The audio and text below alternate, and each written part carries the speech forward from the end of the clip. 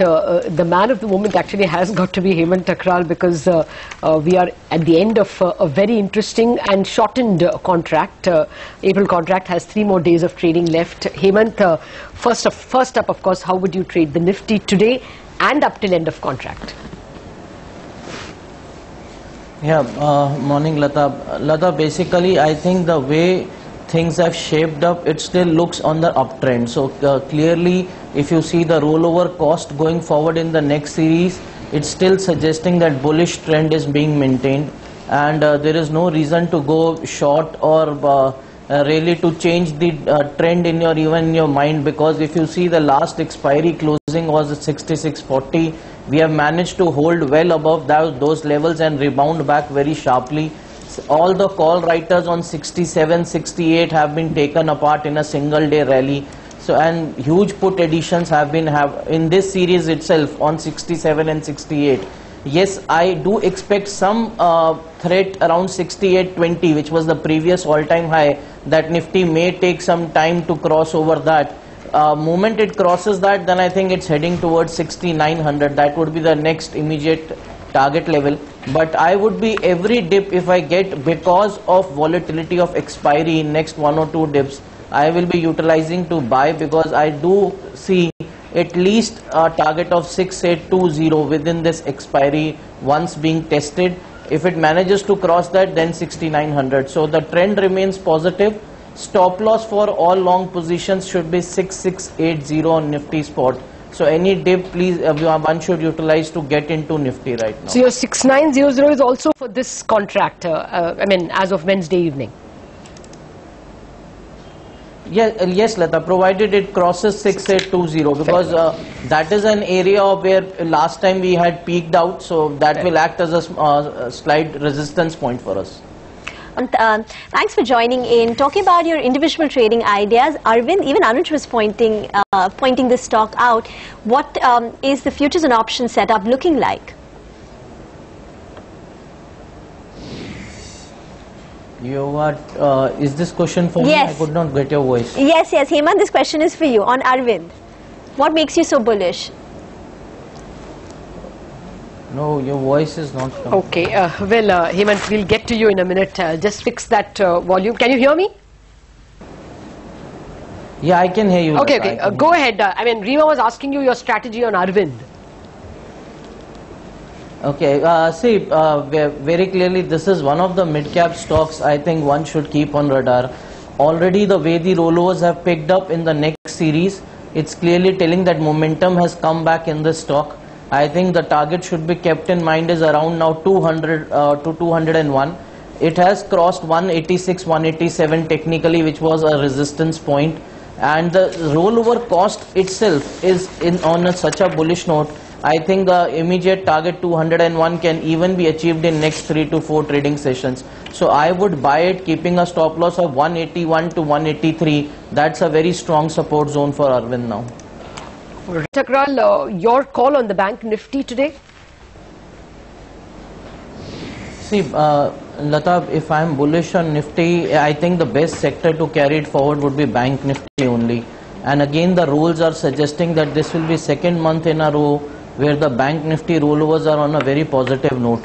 Yes, uh, I do agree that Bank Nifty has not been able to cross the previous highs of 13,100 on the upside of 13,200 but uh, I, I just see it as a matter of time. I think Bank Nifty will be the one which will be stretching over and helping Nifty to move from here on. And uh, uh, the big uh, best rollover cost right now is in Axis Bank, IndusInd Bank, and uh, Bank of Baroda. So these will be the three uh, stocks that I will be watching very carefully for trading opportunities in next three days. All right. You know, you had that uh, uh, 68 as the benchmark beyond which you would get even more bullish on the Nifty. What are the levels on the bank Nifty? See, uh, Bank Nifty, as I suggested, it's the support will be around 12,620, 6, uh, 650.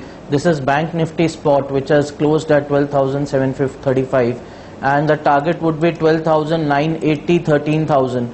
And uh, after 13,000, I think it will change the orbit altogether. But uh, very clearly, the first target would be around that 1290, and I would not be thinking of uh, giving away long positions unless until 12 6 uh, 30 is taken away on the downside so that will be support and targets for bank nifty we have one stock strategy that you have given us, uh, Tata Global. Can you take us through that?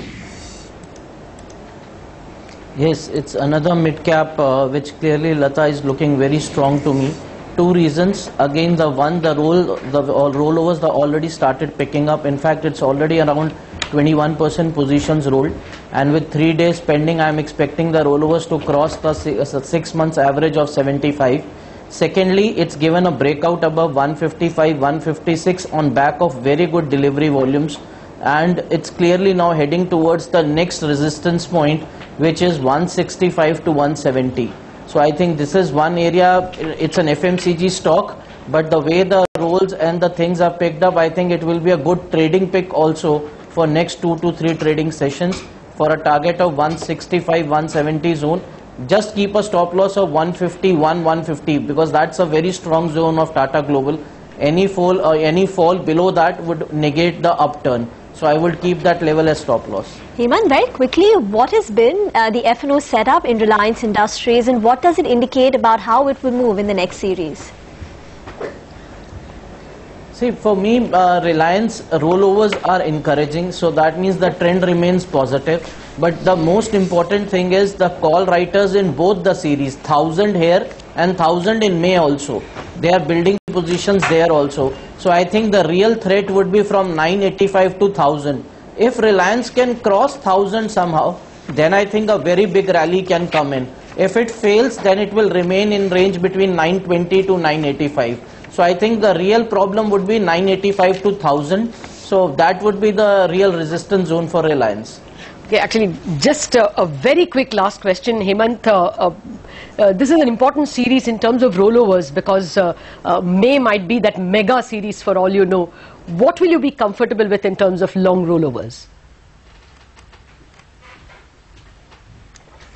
Still continue to uh, be, as I suggested, on towards the high beta spaces. So I will be very comfortable with going with banking to some extent auto, uh, where Tata Motors, especially if I have to pick up a pick on the auto front. And the third would be uh, in uh, in spaces like capital goods, where Crompton, L&T have shown started showing I, already. I thought you would say. Adani and So high JP. beta spaces would. See, uh, Adani, JP, I think people have already started factoring in too much there, Lata. I don't know how much reactions are still left in there. But definitely the rollovers are encouraging. So I, I, I think it's given away with the elections that Adani and JP will move. Oh, right. Uh, we'll leave it at that. Uh, Hemant Thukral, appreciate you taking time out for us. Thank you very much for joining us. Uh,